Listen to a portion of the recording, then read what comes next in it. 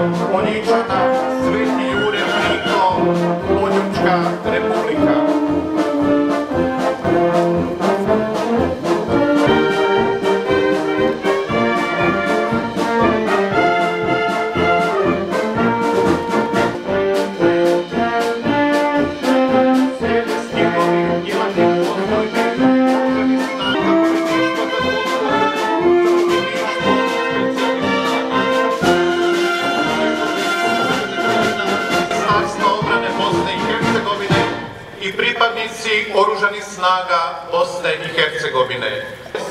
Kojim ravna bojnik Ivan Pšenek, klapa Hrvatske ratne mornarice Sveti Juraj.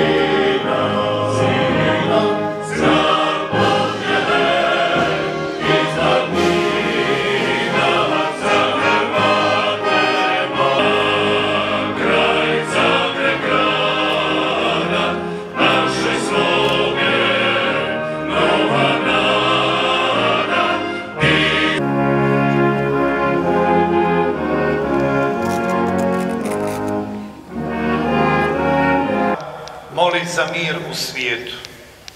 On će danas u rimskoj bazilici Svete Marije Velike predmoliti krunicu i uputiti molitvu Kristovoj majci, kraljici Svete Krunice za mir u svijetu.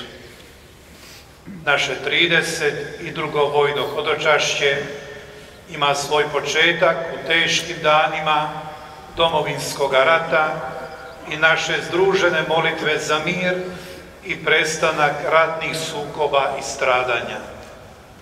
Okupljeni oko gospodnjeg oltara u Bistričkome svetištu, ujedinjeni u istoj vjeri i s istim osjećajima molimo za mir u svijetu. U naše molitve uključimo brojne ljude i obitelji pogođene tragedijom u Bosni i Hercegovini. U ovu euharistijsku žrtvu unosimo i unesimo svoje osobne, duhovne i tjelesne potrebe. Nedjelja je, dan gospodnji.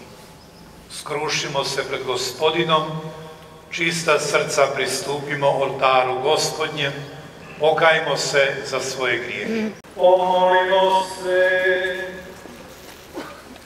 Svemogući vječni Bože, bolji si nego što zaslužujemo i želimo.